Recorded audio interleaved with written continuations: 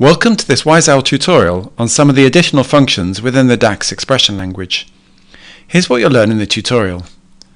We'll start with looking at how to return a subset of the rows in a table using the filter function.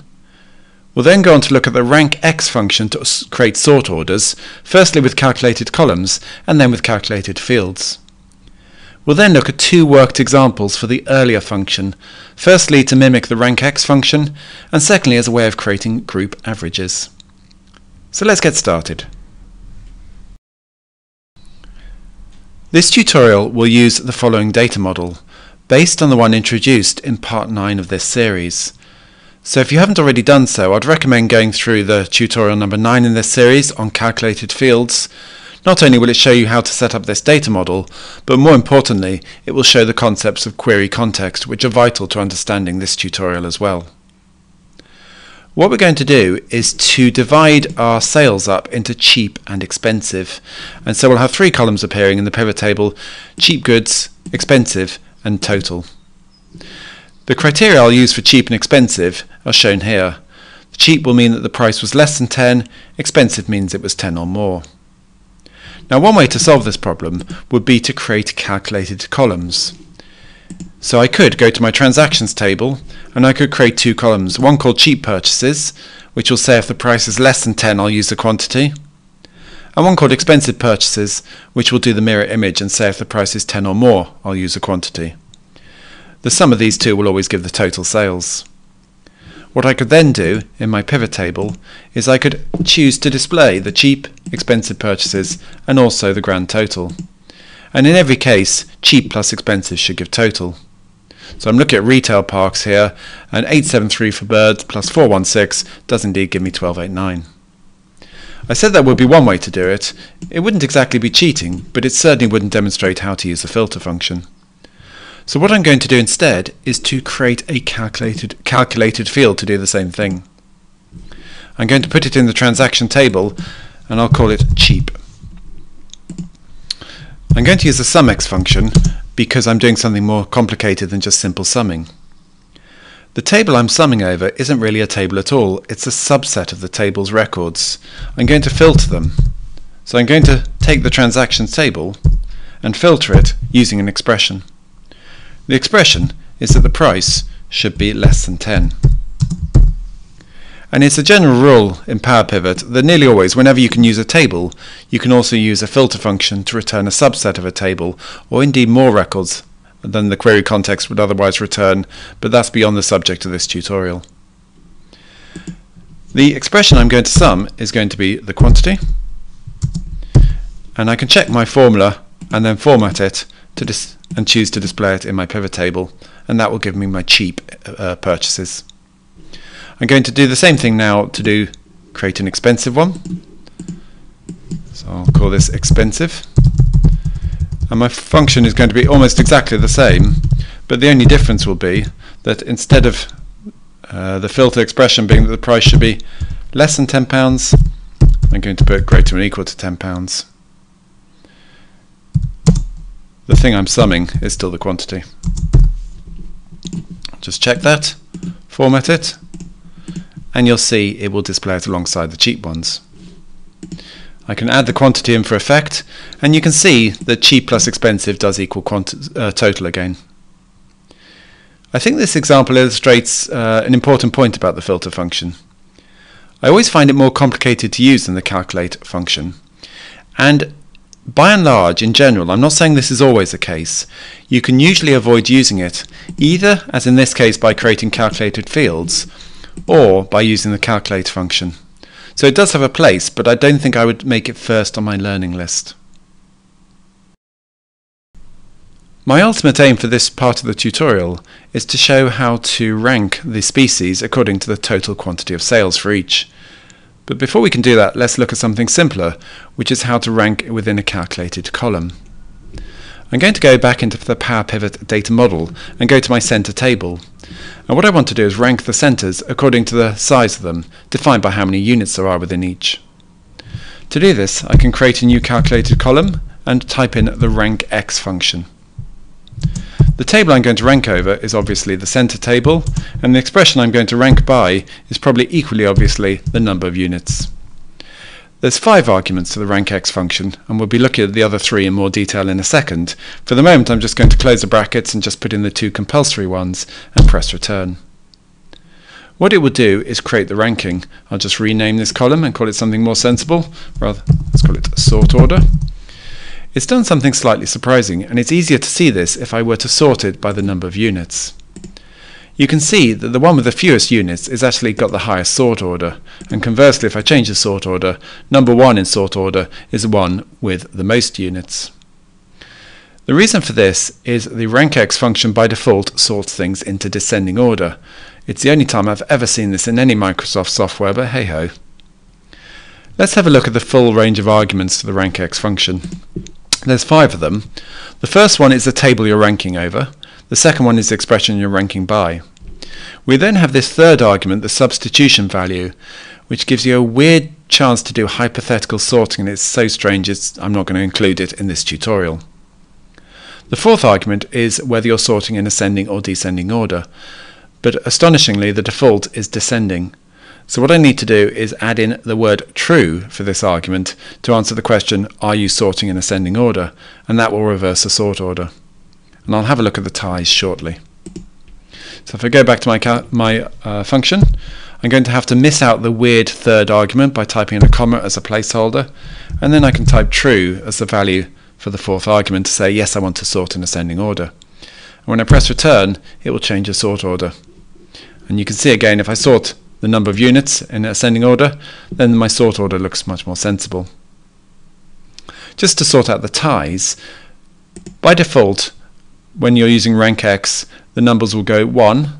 There's a three-way tie for second place, 2, 2, 2. And then the next number we'll pick up on is 5. That's using skip.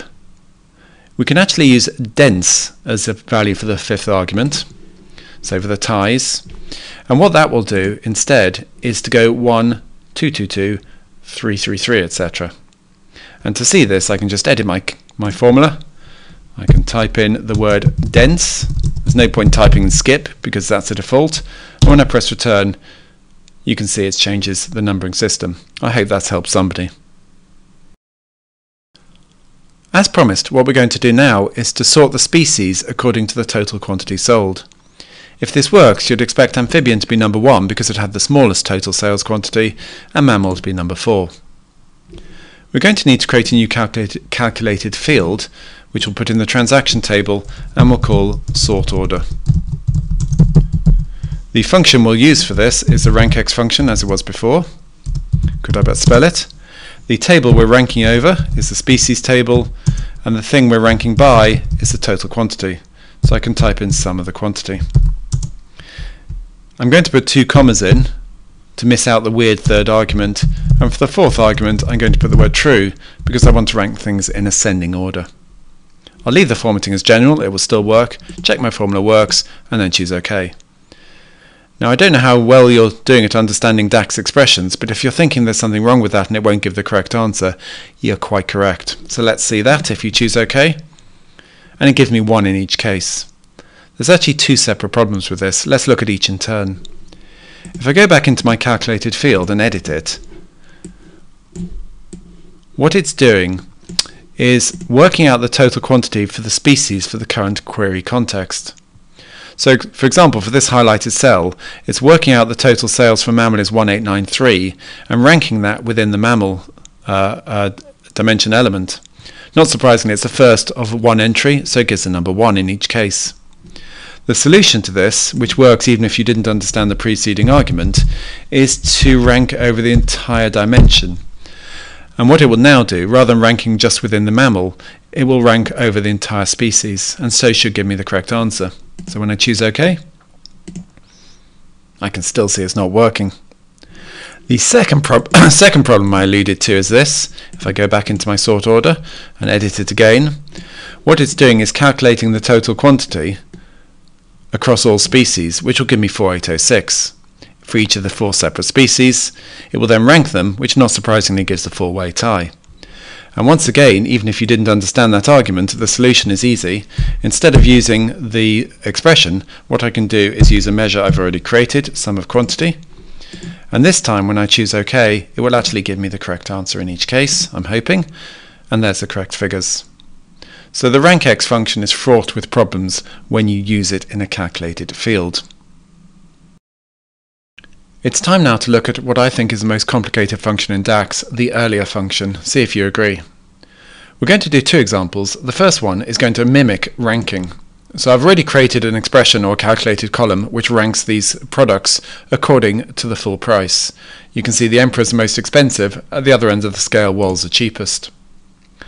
What I'm going to do is to add another calculated column to this and what this will do is to count up how many rows there are in the table but instead of counting across the entire table of products, which would always obviously give me 13, I'm going to count across a subset of that using the filter function. And the subset is going to be defined by this expression. I'm going to say where the earlier value of the full price, where the earlier value of the full price is greater than this full price. And I'm going to add 1 to the result. Before I even attempt to explain it, let's see if it actually works. It has done. I'm just going to rename that with something I've got in my clipboard. And now I'll have a go at explaining it. I'm going to consider the example of Slithery, which costs 4 point, or the list price is 7.5. What this function is doing is counting how many rows there are in the products table where this particular price, which is 7.5, is greater than or equal to the full price. If I try doing that, I'll end up with 3.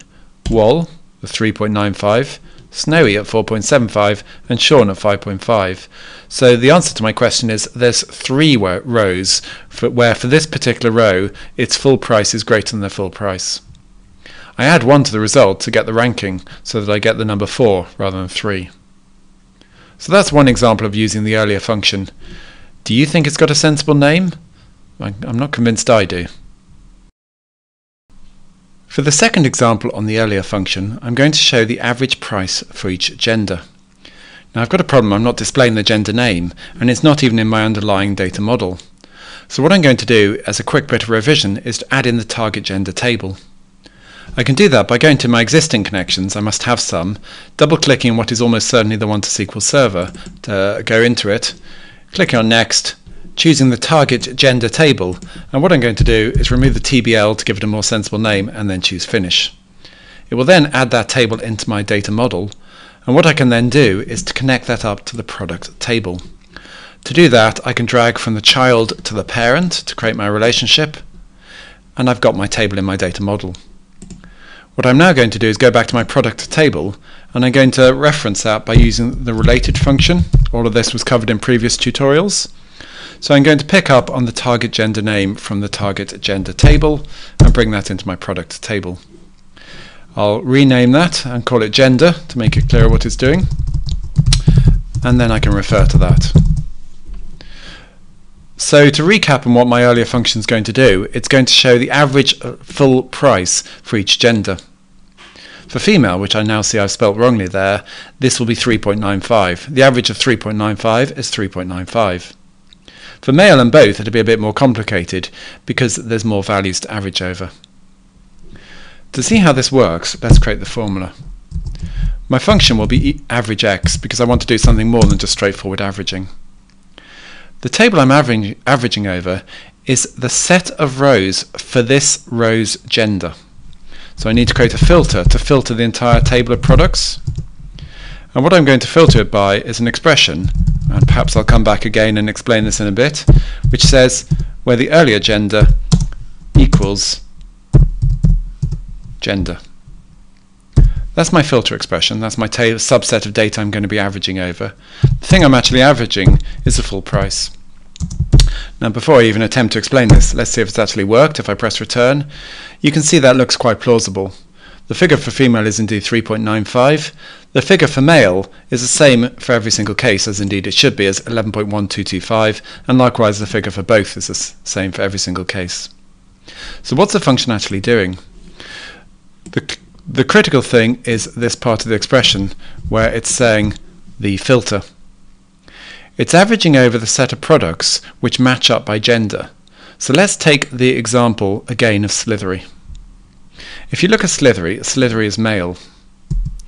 And what this will do is take the average full price where the this particular product's gender, the, which is expressed by earlier gender, matches up to the gender.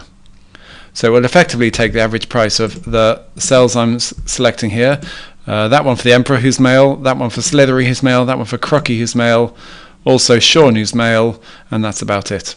And the average of those four numbers will be 11.1225. If you like what you've seen and heard so far, why not head over to the WiseOwl website where you can find loads more free resources, including these videos, some written blogs and tutorials, and even some exercises that you can download to practice your skills. Thanks for watching, and see you next time.